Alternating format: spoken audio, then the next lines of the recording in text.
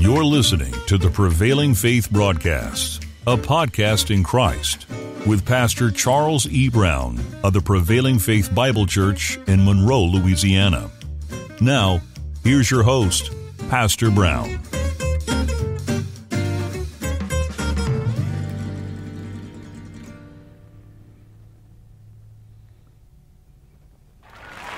Well, Blake, praise the Lord. Welcome to Prevailing Faith Podcast. I'm your host once again, Pastor Charles E. Brown.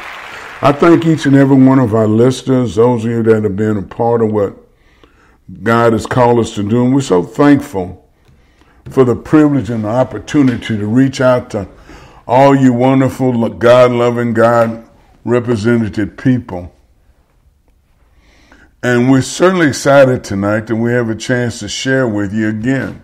So before I get really started, let's invite the Father in. Almost glorious and magnificent Father. We count it a true privilege and an honor to be welcomed into the courts of heaven, to have an audience with the King of Kings and the Lord of Lords. The Lord, that you're forever present in our lives, that you've opened up your heart to us by giving us your supernatural, magnificent word, the Spirit of truth.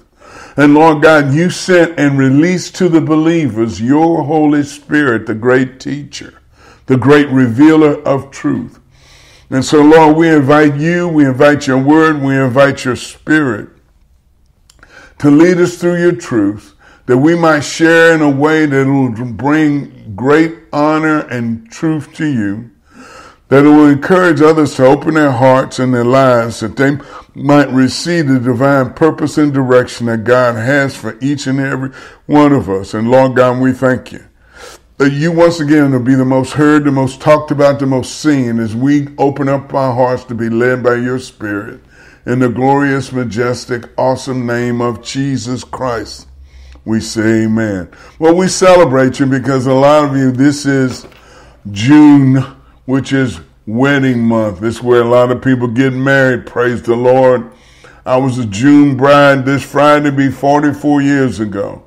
It's amazing what you can have happen when you're only four years old. Y'all get that tomorrow.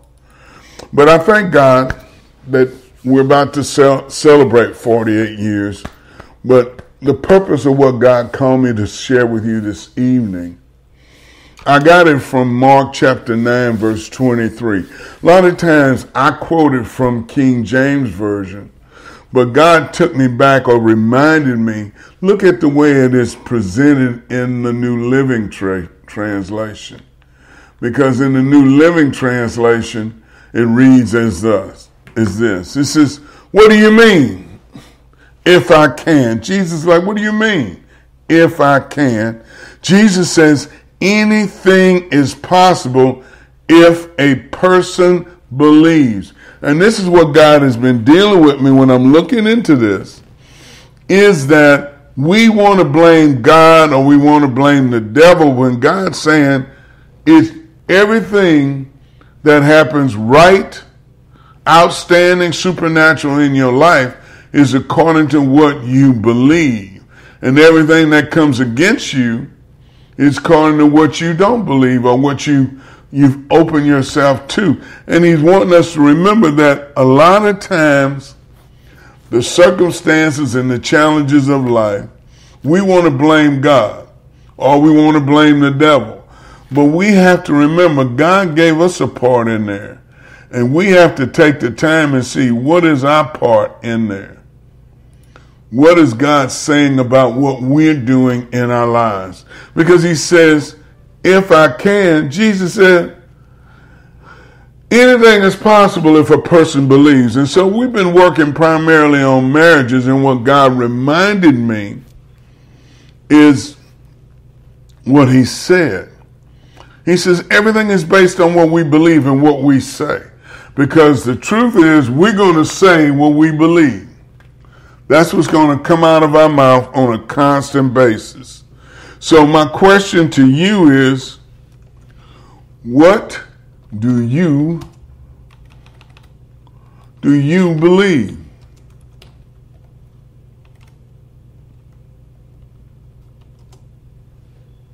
Because God can only follow what lines up with His Word and what you believe. Because look, this is what God reminded me. Because we all go through this thing, and, and, it was released with Adam and Eve. When you look at Genesis 3 and verse 3, you remember that Eve was given the information. Now, she may have gotten it through Adam, but she still was held responsible. And the devil started talking to her about why don't you eat the why don't you eat from the tree of, of forbidden fruit? They say you won't die, but you become as wise as God. We'll never be as wise as God. We only get a chance to enjoy His wisdom when we open up to Him. But the key is this she chose to eat the forbidden fruit, she had the instructions. And what God is trying to get us to remember, He's told us what to do.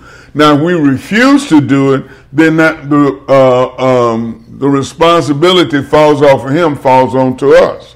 And so, what God is wanting us to remember, if you live and do what I'm telling you to do, because that's what a lot of people don't miss. You know, you may say the born again prayer, I decree and declare that Jesus Christ is my personal Lord and Savior. What Lord means that you no longer make the decisions. What you think doesn't matter. is What the Word of God says is what matters. And the key to this is that God gave us the choice to let God be our personal Lord and Savior or not.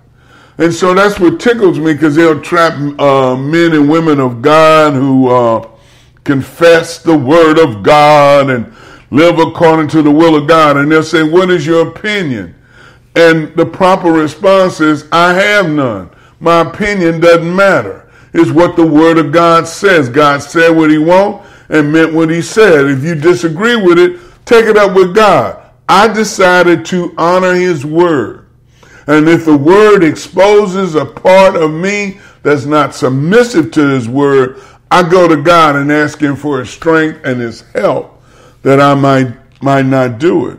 But you remember, Adam and Eve both ate the forbidden fruit. And then all of a sudden, they became ashamed of their bodies. And unfortunately, some people are not ashamed of their bodies anymore. They're showing everything. But when when God spoke to Adam in Genesis 3, he called him, look at verse um, verse 10 or verse 9. And the Lord called unto man, Where are you? In other words, like God didn't know where he was, he was asking him. And Adam replied, I heard you walking in the garden, so I hid. You cannot hide from God.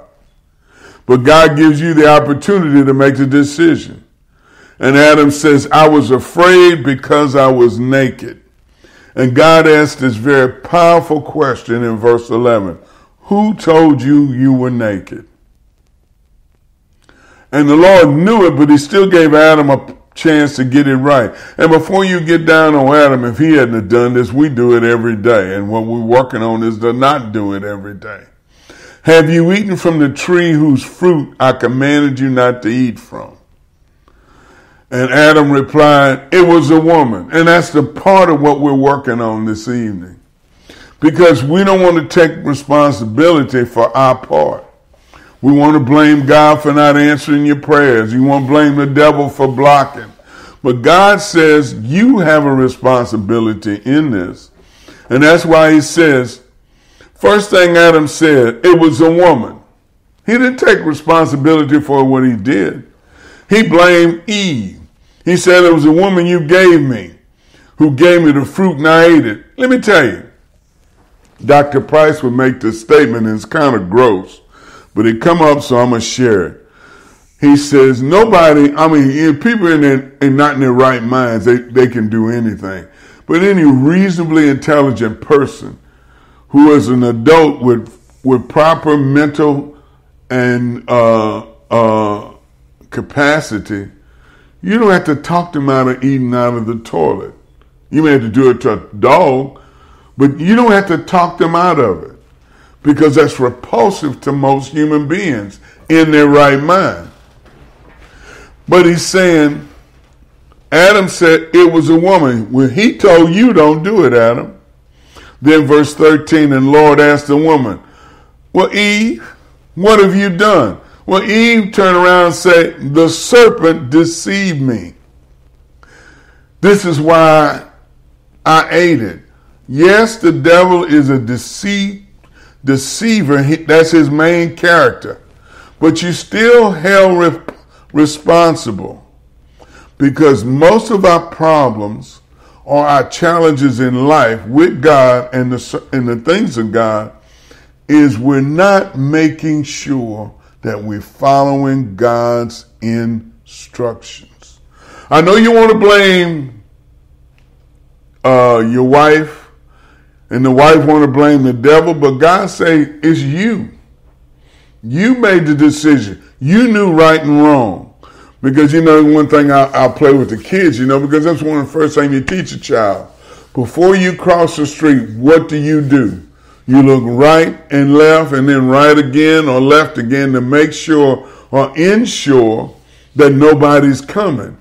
Because on my wife's new vehicle, I have a, a it has a blind spot for me on her side. On the driver's side, I have no problem.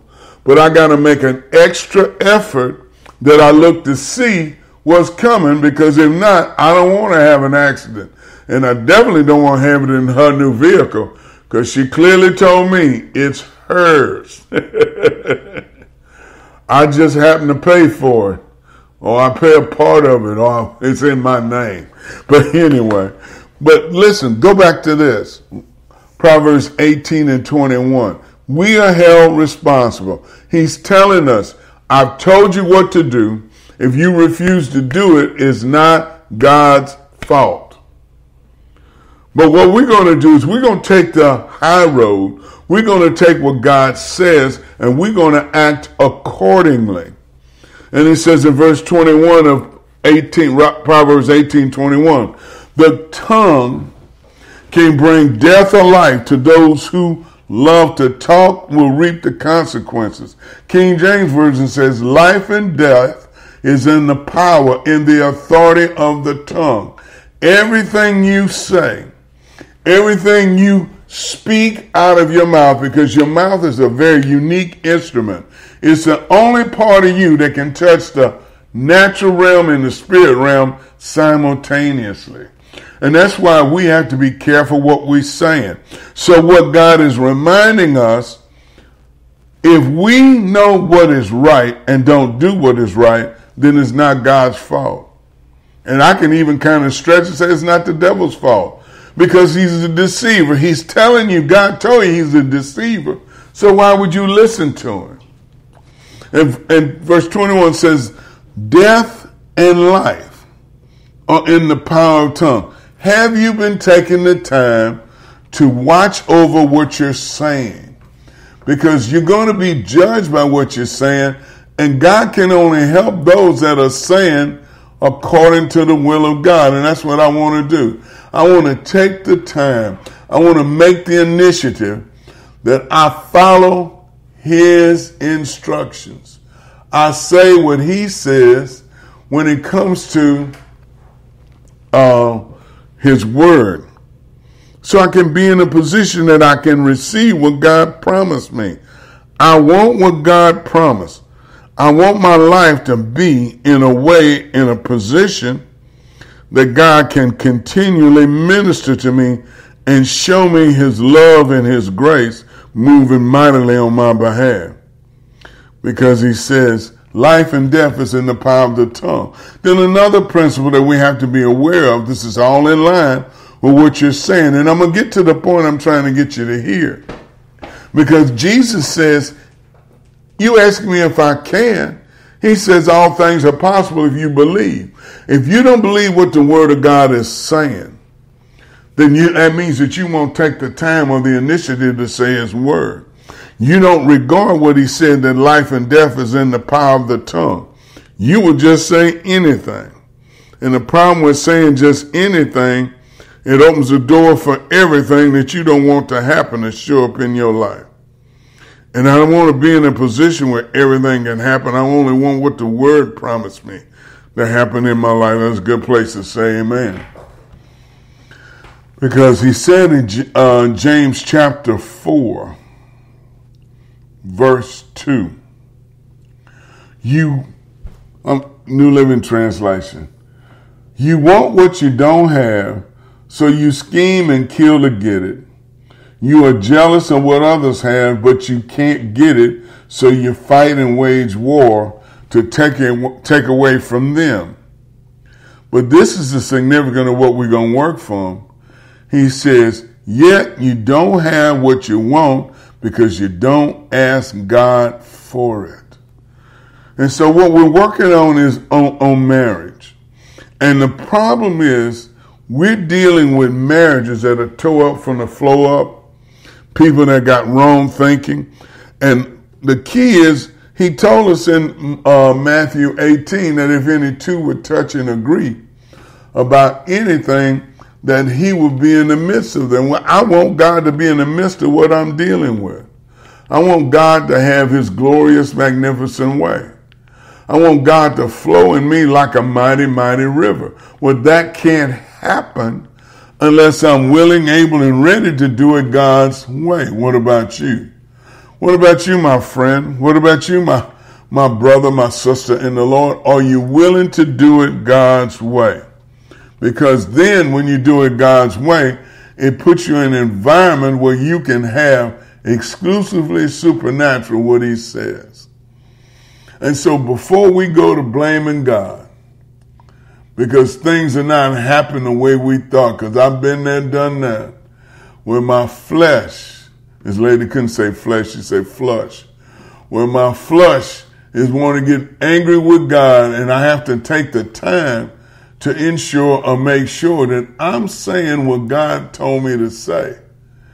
That I'm not just running my mouth haphazardly without including, without utilizing what God has told me to do. And that's what I want to make sure, ensure I'm doing. God, I want to make sure that I am doing and saying what you call me to do. Because he's telling me, he says, if I can, the problem is not God, it's us. The problem is us not asking, not following up or doing it God's way. And that's not what I want to happen to me. What about you? I want to put myself in the environment where I'm asking God and doing it the way God told me to do it. Isn't that not true? That's a good place to say amen. Wonderful place to say amen. Because he says in James chapter 4, verse 2, he says, You have you don't get it because you're not asking God. Well, okay, God, if all you telling me I gotta ask and I gotta believe, well, I need to work on my marriage. And so for my fair my marriage, excuse me, to be what God's calling to be, I got to do it the way God's telling me. Yes? Because he told us in Isaiah 43 26, these are primary principal scriptures that you should already have in your remembrance. He says in 40, Isaiah 43, verse 26, God's telling you, remind me what I said. Remind him what he promised. And so now what we're going to work on, because I'm going to show you what God is telling us to do in our marriage, to remind you. Don't blame nobody else. You need to repent. To go back and make yourself say what God promised you. And commit yourself to believing what God has said. Not how it looks, how you feel, but remind yourself because when you do it this way, I'm giving these principles kind of fast because if you've been listening to our podcast, we've been going through these very same principles the whole time. We've been going through them the whole time trying to get us to understand. Mark 16, verse 17. Look what he says here. This miraculous signs will accompany those who believe. I need the supernatural, miraculous, glorious, magnificent power of the living God in my marriage. And for that to happen, I'm going to have to do it God's way. I'm going to have to remind myself what He told me to do, unlike Adam and Eve. Then I'm going to have to put me in an environment where I watch what I say out of my mouth, like He told me in Proverbs. Then I got to remember He says He can only give me what I ask for according to His glorious and magnificent word. So I'm going to ask according to His word. And then He's telling me in Mark 16, verse 17. The miraculous signs will accompany those who believe. What? He said, if I believe this word, and we're working on my marriage, so if I do it God's way, the miraculous, he's talking about miracles. He's talking about supernatural signs will accompany those that believe believe. I need a miracle because I can't watch a TV program. You watching me, I don't want to be married, or you want to be married, and then, um, and uh, what was it? Uh, y'all had to look this up because I'm dating myself, but that was this old cowboy picture that came on for 20 or 30 years called Gunsmoke. And uh, Matt Dillon was the sheriff, and Miss Kitty was his love interest. But from what I remember, they never kissed and he never married her. But Matt, whenever he wanted to have a lady's uh, company, he'd go talk to Miss Kitty, but he never married her. He never took it to the next level. Well, the point I'm trying to make, it was unrealistic. But God's wanting you to be able to do in the supernatural where you can make the supernatural change the realistic. He wants you to be in a place where you can do it. And he's telling you, he says, the miraculous signs will accompany those who believe. Lord, I believe for my marriage. My wife did. And then I caught on with it. And then because I believe in the miraculous power of God, I can cast out demons in the name of Jesus and I can speak in new tongues. Cause let's go, let's go to Acts 3. You, you all remember where they said, uh, silver and gold have I none, but such as I have, I give it unto you. But this man is about to receive a miracle. He's an invalid. He's a uh, paraplegic. I think it was both legs. But he's about to see, receive a miracle. But this is key when you look at Acts 3 and verse 5. And this is what the men of God given. I'm trying to tell you how to put your marriage back together. Because these same principles I'm talking about can miraculously, supernatural change your marriage. If he can make a crippled man walk, he can certainly heal your marriage. If he says signs and wonders will follow them that believe, he can heal your marriage. Acts chapter 3, verse 5. He says, So he gave them his attention. This is a man that needed a word from God. And the key is expecting. And this is what's so significant. You got to do what the word says, which is what Adam and Eve did not do. You got to remind God what he promised, which is what he tells us in Isaiah. Then you got to remember that life and death is in the power of your tongue in Proverbs. And then he's telling you here, you got to expect. So you got to expect when you do it God's way for the miracle power of God to show up. Because this man could have been like so many others. He could have rejected it when they asked him uh, for his attention. But if you pay attention to what the Word of God and turn on your expectors, because let me remind you what a miracle means. It's an extraordinary event by divine intervention in human affairs. I need God in my marriage. If you want hell on earth, be in a bad marriage.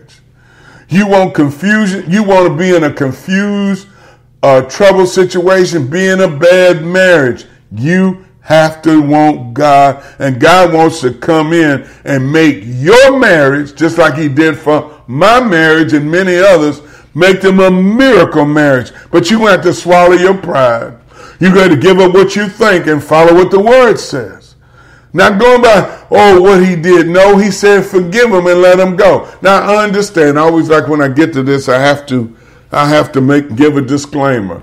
If you got a man or a woman that you can't trust because they, they have alcohol, drug abuse, uh, pornography, they have all these kind of issues, then that's a, that's a different case. But there are people because they got this thing they come up with uh, irreconcilable differences. And I love it what um, what Rick Warren, one of, one of the has one of the largest ministries in the nation. He said the biggest problems in a lot of marriages is they won't grow up. If the two of you would grow up, there's no outside people in your marriage. There's no um, there's no alcohol or drug abuse, there's no adultery or fornication, no pornography, then you can go to God and make it work. Now, let me tell you this now, because we're talking about miracle power of God. You can have a marriage that has alcoholism, drug abuse, fornication, uh, adultery, and God can still transform it, but you're going to have to go to God to get it done. But that's what I'm trying to get you to hear. God is not moved by what's wrong in your marriage. He's moved by what you can bring him in to make it right. And that's what we're here to talk about. We want God to get in our marriage because God can bring in his miracle power. Yes, glory to God. Divine intervention in the human rights. Extremely outstanding, unusually accomplishment can happen in your marriage. And so remember what the paraplegic said. They said about him, he said, so he gave them his attention. And when he gave him his attention, he started anticipating. Oh my God, I'm getting excited. He started anticipating God showing up in his man. I know he wasn't married, but I'm trying to get you to hear where I'm coming from. If he could do it for a physical man who could not walk, he can do it for a broke down, no leg marriage. He can change it if you get your expectors on. If you anticipate, you start getting excited. God, you coming into my marriage. I'm excited. I'm joyous. I'm rejoicing in you because I let God in. You turn your head off, baby, because doubt and unbelief gonna show up like a brick bolt upside your head, trying to make you think, I watched this TV show. I mean, oh my God, there's so many. Every two seconds, they have any, they must have a budget out this world. They're having catastrophes and they're going out there to save people. You know, I watch it and trying to support them, but I mean, you know, it's unrealistic because I've known people who are in that profession and well, I live in a country, a small area, but they don't have something going on every two seconds and they saving lives all like that. But the point I'm trying to get you to hear is don't make the mistake Adam and Eve. Don't blame nobody else. You do it. You take what God's word and you do it. Because that happens a lot in relationships. Well, if he's not going to do it, I'm not going to do it. And she said, well, he's not going to come on. I'm, I'm not going to do it for him. No, you do what is right before God. And he says, remember, life and death is in the power of the tongue. Because we hit that a few messages ago about being encouraging to each other.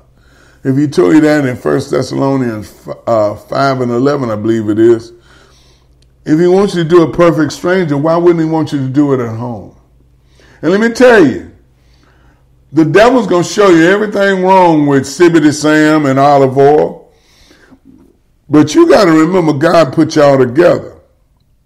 And God wants to be fulfilled in your relationship. And he's saying because the paraplegic got healed, is because he anticipated he looked forward to what God was going to do in his life. he, he was obligated. Oh, yes. I like this word. Because see, this, if you're doing it God's way, God is obligated. He is legally, spiritually, and morally bound to do what he promised because you chose to believe. I wish I had more help than that. Because in the next word in there, he says, expecting to receive. That means when I hear the word of God and I've honored God by walking in obedience to God, then I have an expectancy because God cannot go back on his word. And then when I receive it, that means that I take possession of it. You know, because Dr. Price used this and uh, other ministers use it. It's a powerful thing. In these United States, you can go get a vehicle, new, old, or in between. But the proof of ownership is the title deed. It's not the vehicle, but it's the proof of ownership, which is a legal document that is recognized in the state and local government. This is a legal document. And if you have it and it has no liens on it, see, in uh, some states we even give it to you, but in Louisiana, when you go to buy a vehicle, or a house, legally the house is yours. Legally the vehicle is yours. But when you have a lien on it, that means that you borrowed money against it, and until the lien is satisfied to the lien holder's uh, uh, uh, specifics on the title, um, it's still yours. But if you sell it or if you wanted to, uh, um, you want to take the insurance off, well, the one who got the lien on you gonna put force place insurance on you until you pay it off, or uh, you trade it in. But the point God is, I believe God is trying to get us to hear. I'm going through some areas. He says, Adam and Eve's problem was they didn't obey God. He gave them instructions, they didn't follow it. Proverbs 18 and 21, you're going to be, you're going to have to use your mouth to say what the word says. Isaiah 43 says, and your argument or your disposition or your place with God is to bring before God and remind him what he promised you. Because that's what God's going to do. James 4 and 2. He says he's going to do what he said. Not what you think, not how you feel. He's going to do precisely exactly what he said. And that's all you can ask of God because that's what he's telling you. I'm going to do what I promised you. But you got to take the time, the initiative, the commitment to learn his word, speak his word, stand on his word, believe his word, and then the pressure comes off you because God tell you don't worry. In Matthew he said, Don't worry. Why should not I worry? Because you're trusting God. And God is obligated to produce. I'm excited. What about you? Because as we go back to, we're going back to Mark chapter 9. We're going to go up to verse 9. Because now I know before we read this, some of you know ahead of time where we're going. But I'm not saying your marriage is demon possessed but it can surely act like it. Just kidding. But you letting the devil and his bunch or your thought lack of revelation knowledge has taken over your marriage and God's telling you, don't worry about what he did. Don't worry about what she did. Come to me. Let and speak what I say because then God's saying I can come into your marriage supernaturally. And that's what you want, isn't it? Because look at verse 9 of Mark chapter 9, verse 9. And went back to the mountain and told them not to tell anyone what they had seen until the Son of Man had risen from the dead. So he kept he kept it to himself, but after he asked each other, he meant by raised from the dead. And he asked and said, Why do you teachers of religion's law insist on Elijah must return before the Messiah comes. And Jesus replied, Elijah indeed coming first to get everything ready. Yet do the scriptures say that the Son of Man must suffer greatly and be treated with other contempt. And the part I want to drop down to, verse 17. Your marriage is in a rocky place. The devil has had has superior authority, and God's telling you how to run him out. And look at verse 17. So one of the men in the crowd spoke up and said, Teacher, I brought my son. Or I brought my marriage is what we're working on. You can't interchange that so that you could heal it. Lord, my marriage needs healing. And look what he says. And my marriage is possessed with an evil spirit that won't let him talk. If you do not take the God given initiative, the devil will destroy your marriage. Because I remember this, I say it all the time. He will fight you tooth and nails to keep you from getting married. And then once you get married, then he wants to talk you out of it because that's just the way he is. And the very people that got up there, oh, I'm so glad you got engaged. Then as soon as you go sign the papers, I didn't think it would work because that's the way the nature of the flesh is. But God's saying, come to him. He promised to do miracles and he can do miracles in your marriage. If he can heal, if he can run the devil out of a devil uh, controlled boy, can get it out of your devil controlled marriage if you turn to him. We're looking at the principles. Don't get caught up in the in um, everything, but get caught up in the principle is if you can believe, he can do it. That's what we're working on. If you can believe, Jesus can heal your marriage. The Word of God, the Spirit of God. And look what he says. And whenever this spirit seizes him, oh my God, come on now. Okay. Uh, I was thinking about this the other day. I, I tried to find it some years ago with all this social media, they showed this grandparents, they were cursing each other out, saying all kind of foul, disrespectful things to each other. And the grandson recorded it and put it on Facebook. And I know it went viral. And some of you, some of my listeners know what I'm talking about. But when you have let the enemy run, it comes in. A, you might be together, but you are horrible together. You're cursing each other out, talking about each other's in-laws. You're coming against saying all kind of derogatory, foul things, and it's not of God. He says, whenever the ungodly spirit seizes him, it throws him violently into the ground. It, the devil will do that to your marriage. It will throw your marriage into the dirt. And then it'll start to foam at the mouth, start grinding his teeth and become rigid. Because that's one of the biggest challenges you have in a marriage. If both of you become rigid, who's going to listen to God? So I asked your disciples to cast out this evil spirit, but they couldn't do it. Well, I understand they were coming to Jesus, but if you're born again, Jesus is living in you. You don't have to go find the physical Jesus. The spiritual Jesus is in the heart of every born again believer, and you can speak with the authority that's in you. But let's read on if you don't have the revelation. Jesus said to them, You faithless people, uh oh. If you're born again, you have the faith to believe you're born again, right? Well, you have the authority to use the word of God as your own because Romans 8 and 14 and 16 through 16 says you are now been adopted into the kingdom of God that you might be led by the spirit of the living God, excuse me.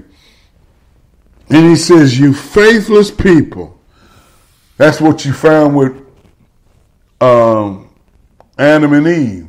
They had no faith in what God says. Because when God said don't eat of the forbidden tree, they ate. Then they didn't watch what they said. They tried to con God. Come on now. You ever dealt with a two or three year old? I saw this on Facebook uh, in the last month or so. This grandmother is asking a toddler, "Did you uh, urinate in your pants?" And the toddler just started speaking gibberish. it was hilarious. And she kept asking, "Did you wet in your pants?" Oh, and she kept speaking gibberish. And finally, when the grandmother threatened her, she says, "Yes." it's hilarious. But verse 19, Mark 9 and 19, Jesus said to them, You faithless people. See, this is what happens when you have no faith in the word and in the leadership of the Holy Ghost. The devil will have rest, rule, and abide. We'll not rest, we'll have demonic rule in your household. How long must must I be with you? How must how long must I put up with you? Bring the boy to me. And this is what he's saying to you. Bring your marriage to Jesus Christ. What does that mean? Bring it to the Word. Let the Word be first and foremost in your marriage. Let the leadership of the Holy Ghost lead your marriage. So you can be who God, or it can be what God has called to you. And he said, brought the boy, so they brought the boy to him. But what happens, glory to God, when you bring your marriage to the altar of God, when you bring it before God the Father, the Son, and the Holy Ghost? That devil gonna start squealing because he don't give it up. And it threw the child violently into convulsions. Is that what happened to your marriage? Oh, that's what happened to mine when my wife was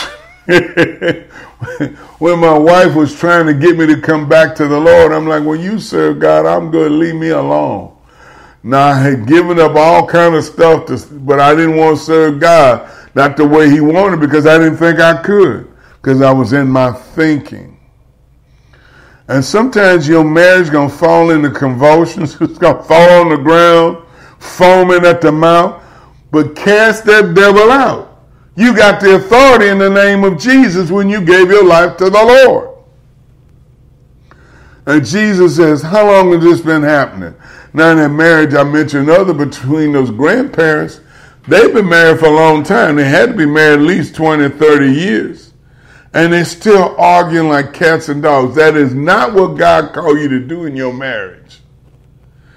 He called you to get with the word, get with your belief system, believe the word, and cast that devil out of your marriage. And he says, How long has this been happening? And he replied, Since he was a little boy. How long y'all been arguing like cats and dogs? Since y'all first got married? Woo, Lord. You know, we laugh about it now because even though we weren't born again when we got married, or I had I, I just wouldn't serve God.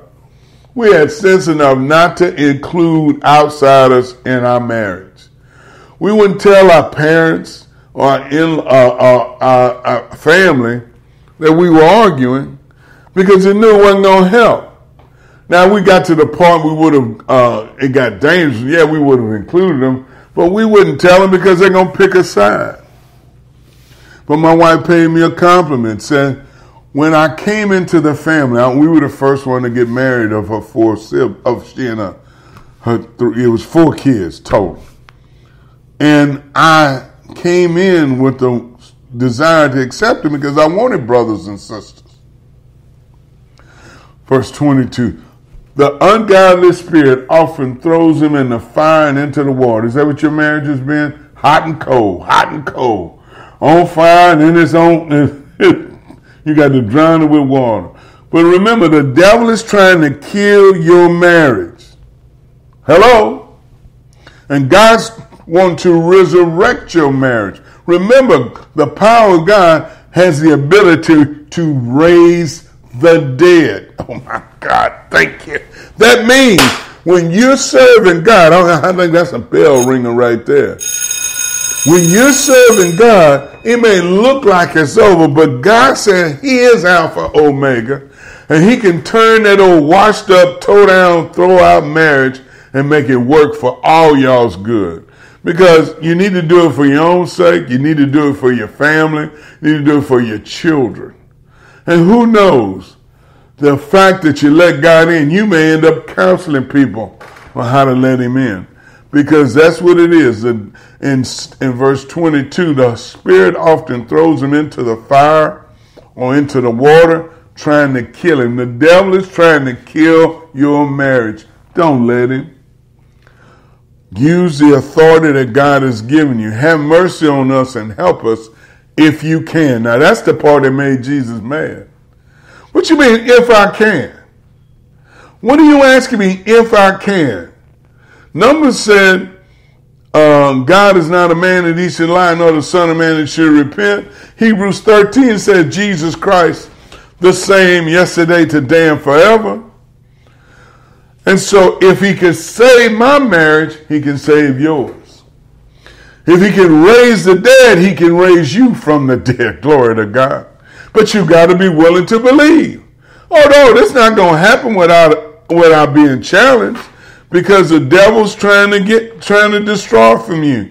And Jesus asked him, said, What do you mean if I can? I'm Jesus. J-E-S-U-S. And anything is possible with me if the person will believe. And that means I don't look at the end of the problem, I look at the beginning. I look at the creator of the universe. I look at the one who can answer. I look at the one that can raise the dead. And that's the word of God. The living, the supernatural God of all. The miracle, miraculous power of God. It can raise the dead. He says, What do you mean, if I can? Quit letting the devil rob you.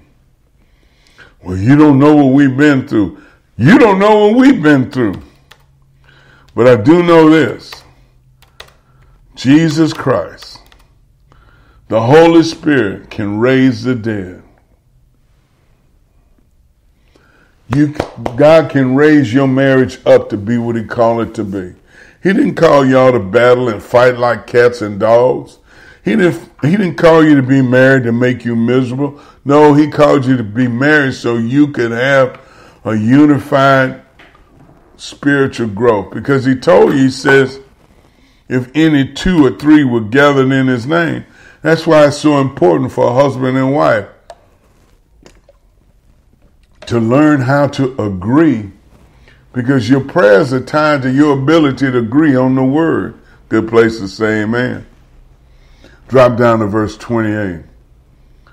Because the boy got delivered, and so can your marriage. Your marriage can be totally, completely delivered. You can run the devil so far out of your marriage. I like what um, uh, Brother John Osteen used to say. Said you can beat the devil up so bad that when they walk by your house, say, "Ah, oh, let's not go there. We tried, and he beat us up too bad. Let's go to the next house." I'm talking about Joel's father. Verse 20 is Jesus was alone in the house with the disciples and they asked him, Why couldn't we cast out that evil spirit? Why can't you cast the devil out of your marriage? Because you're not paying attention to the word. You know better than Adam and Eve. That's why you can't persecute Adam and Eve. You do the same thing. Instead of saying, Lord, I repent, what does the word promise me? Adam blamed the wife. What did the wife do? The wife blamed the devil. And the devil's laughing at him, even though he is spiritually condemned. And then he told him, um, Proverbs 18 and 21, be careful what you say. First Thessalonians 5 and 11, he says, you have to encourage each other, not tear each other down. Isaiah 43, he says, remind God what he promised you so he can work with you. He wants to help you. James 4 and 2. The reason you don't have this miraculous power because you don't ask according to the will and the word of God. And then Mark 16, 17, he says, signs and wonders, glory to God, are available to those of us that will believe this word. That will let the word of God change our marriage. Signs and wonders will be there. And then he says here in verse 29, this kind can come out only by prayer and fasting. You got to learn how to put God first so you can have the supernatural, miraculous, authoritative power of God operating and manifesting in your marriage. And God is willing, able, and ready to do it for anybody that will. So I'm going to ask you, I'm going to lead you in two prayers. This first one is the one you, you receive the salvation that's been bought and paid for. Because Jesus told you in, in James 3 and 7, you must be born again. None of this is going to make spiritual sense to you unless you're born again. And then you're going to have to let God transform your thinking because that's what he said in Romans 12 and 1, uh, 2 says, I'll renew your mind. How? By renewing your mind by meditating and thinking on the word of God. So he says that, and to be born again, based on Romans chapter 10, verse 9, this is a prayer. I'm going to ask every one of you to bow your heads, close your eyes, and repeat after me. Dear Lord Jesus, I believe God sent you to this earth specifically for me. I was predestined and called before I even came to this earth. And Jesus, you suffered on the cross for me. You were beating me on human recognition for me. You even died on the cross for me.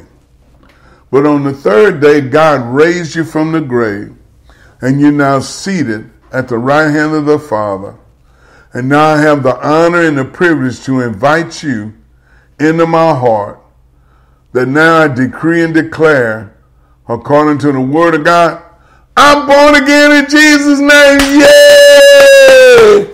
Glory to God. We thank you, those of you that just said that for the first time, or those of you just rededicated your life to the Lord. Remember, if you just did that for the first time or just rededicated your life, you can inbox me on Facebook. You can email me at pastor at prevailingministries.com or you can call our prayer line and leave your information. And we have a little gift we'd like to send you 318 235 6 I'm sorry 318 215 6399. Well, we certainly appreciate that. Now, as we gotten everybody born again, they wanted to be, let's let's pray for marriages. Father, we dedicate this time of the year, especially for those that are making the decision to get married for the first time, that your grace and mercy will be upon their relationship and their marriage. And Lord, we pray for the existing marriages, that they will learn how to cry out to you and let you be first and foremost. That they'll learn how to forgive each other, learn how to encourage each other, learn how to pray in agreement for each other, learn how to walk in love and righteousness together. Lord, we're just praying for marriages that you will continually minister them and move them in the righteous truth in the matchless name of Jesus. Well, once again, we celebrate each and every one of you that are especially vacationing this time of the year. And listen, I understand for some money may be real tight, may extreme. Go to a park Go for a walk in the country or somewhere, but whatever you do, learn how to take a break with your spouse so y'all can clear your heads and find a way to communicate with each other.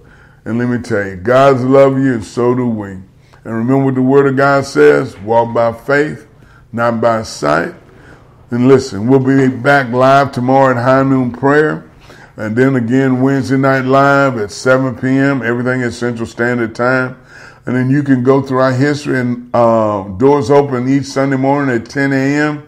If you're in the area, we'd be honored to have you. If not, you can watch the program. We have a new program that starts at 10:30 each Sunday morning, and of course, each Monday night at 6 p.m. Prevailing Faith Podcast. God bless you. We love you with the love of the Lord, and we'll be seeing you soon. Amen. Amen. Amen.